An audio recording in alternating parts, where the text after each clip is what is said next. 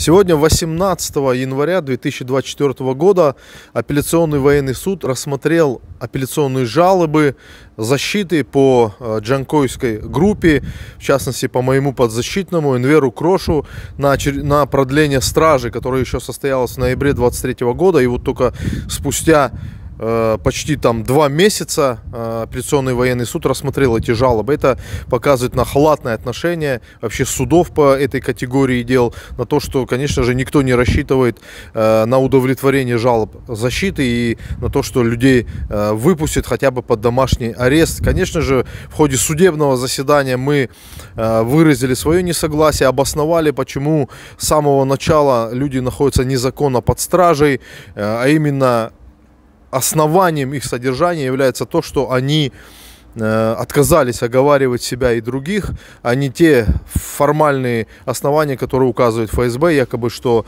э, они могут скрыться, там, э, уничтожить доказательства, повлиять на свидетелей и так далее. Нет, на самом деле именно то, что они отказались оговаривать себя и других, вот это явилось основанием того, что они находятся сегодня в следственном изоляторе. Наши подзащитные также высказались в прениях, они сказали о том, что никаких преступлений преступления они не совершали, что они не являются преступниками и с самого начала их содержат в следственном изоляторе абсолютно незаконно. За это время, уже вот долгое время, почти два года, у них очень сильно ухудшилось здоровье в этих условиях нечеловеческих.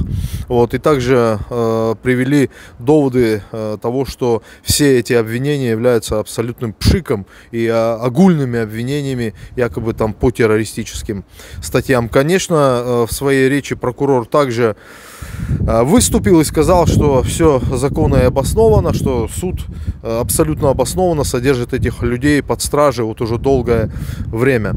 Э, суд Э, удалился совещательную комнату и ожидаемо вынес решение о том, что апелляционные жалобы э, наши остались без удовлетворения и э, политзаключенные по Джанкойской группе остались под стражей на время суда в следственном изоляторе в городе Ростова-на-Дону. Всем они передавали, как всегда, огромные слова благодарности за поддержку, за то, что приезжают на суды, за то, что поддерживают письмами и так далее.